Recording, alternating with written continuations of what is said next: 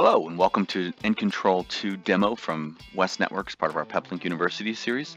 Today I'm going to show you how to add and remove a device uh, from InControl. So the first thing to do if you add a new device, you want to go to Settings, Add Devices. You can then put in the serial number of the device, and here you can put in tags. So if this is like my SDX HQ, or maybe I want to say it's um, USA, um, you know, if you put in the location, um, or I, maybe I can say it has LTEA backup, you know, so you could put in your tags that are going to be applied to all the serial numbers. So if you're putting a whole bunch of serial numbers that all apply to one location, you can assign those tags and that those tags will be assigned to all those devices. Click next, and then it's going to ask you to put a name. So you can name your devices. If you have a bunch of devices, uh, you can name them all. And so here you could just say, you know, like SDX HQ demo uh, LTEA.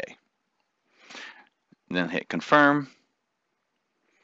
And now I can go back to my dashboard and there is my SDX HQ demo LTEA with my tags. To edit the tags, I can click edit, select the device, go to tags, go to remove, and then I could actually remove any tags that I don't want as part of this device. I can also click edit check the checkbox for the router that I'm looking at, hit tags and add a tag that I would like. So LTEA, click add, and you'll see that it shows up right there, LTEA. Then I can remove the device. To remove the device, there's one thing you have to check before you remove the device. You want to go to your SpeedFusion configuration and make sure the device is not part of a SpeedFusion tunnel because you cannot remove a device if it's part of a SpeedFusion tunnel. This device is not part of a SpeedFusion tunnel, so I'm going to go back to my dashboard. I'm going to click Edit. I'm going to select the device I want to remove, click Actions, and Remove Device. Here you can say there's data collected on select device. You want to be cleared from the systems.